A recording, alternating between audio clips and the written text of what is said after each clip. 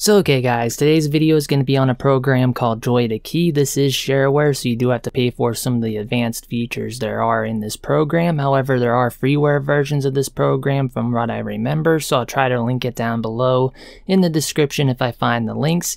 But yeah, with that said, a friend of mine wondered how I would program all these button boxes. Do I just reprogram them independently whenever I want to do a specific game? Well, the answer is no. I pre-program them to think like they're gamepads, and I use a piece of software called JoyToKey.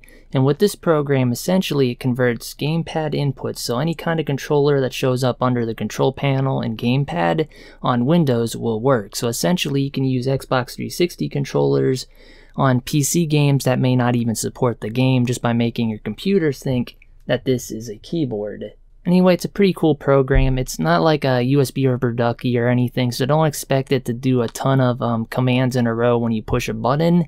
However, you do have some basic features and things that you guys might um, take advantage of in certain games if you were to use them. They do have auto-repeating uh, button options, so when you click a button, it will repeat a function until you click the button again, which is kind of cool. They also do short um, button combinations, as you guys can see. There's a you can press Control Shift and an arrow or something, but you're not going to be able to type out full long strings of text with just one button push like a USB Ducky could. Anyway, the reason why I use this program instead of um, just reprogramming these things on the fly is it's just a lot easier. I can just use this control my desktop at a push of a button like so. I can click a profile here and now it's set up for streaming. So if I were to push one of these while OBS was running right now, it would probably turn my uh, recording off or make the video less full screen or something. I have different inputs set up so I'm not going to push anything while it's on that profile. So let's go back to profile one. But yeah, as you can see, you can have multiple joysticks too. So if I wanted this to act like a keyboard and mouse, I can also make this act like a keyboard and mouse at the same time, so you can have more than one gamepad plugged in, which is nice. Just to show you guys that this is indeed set up to work like a gamepad, I've opened up my game controller options under control panel. As you can see, if I push a button here, well, you get the idea. But let me click into JoyToKey. It will actually push the input. As you can see, if button 4 was pushed and it will actually tell you where it was pushed over here to button 4. Now this program does also take advantage of the stick, so if your controller has a stick, you can make it do functions as well.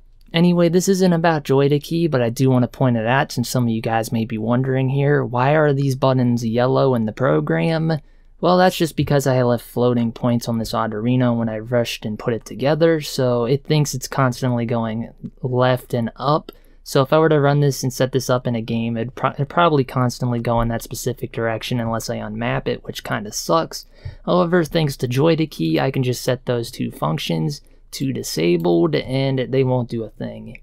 Anyway, other than that, there are a few things I've never actually used in this program. You can save profiles and things and reload them in if you wish to change buttons on the fly like a madman. You can have like eight profiles here, save it, delete everything, and just start fresh and then reload the old one back in if you so desire.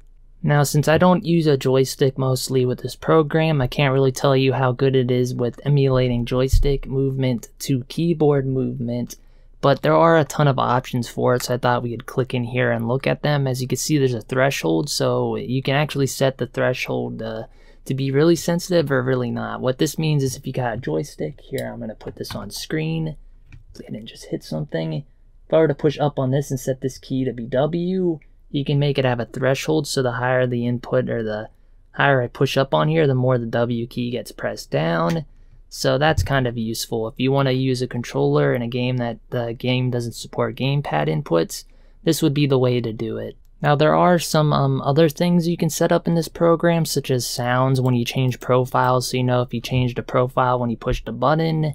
There's also um, settings in here that allow you to completely minimize the program to your tray, which is kind of nice if you want to just have it out of the way while you're streaming. That makes it really handy. But other than that, I can't really think of anything else to talk about with this program. It's just a program I really liked and I thought it might be worthwhile making a video on because there ain't a lot of programs out there that allow you to do anything like this program can. Well, anyway, guys, that's pretty much it for this video. I just wanted to talk about this program a bit and get its name out there because there ain't a lot of programs like this on Windows that do a good job of emulating um, gamepads to HID-based hardware, and I just thought this did a good job at it, and I thought it was very well worth the money. So yeah, with that said, I'm going to leave today's video off here. DTPK signing off. Peace. And they kind of arrive like this. There ain't really much of an unboxing. You get a skate in a wrapper, you get another skate in a wrap. Here you want to navigate to add-ons, then hit install add-on from file.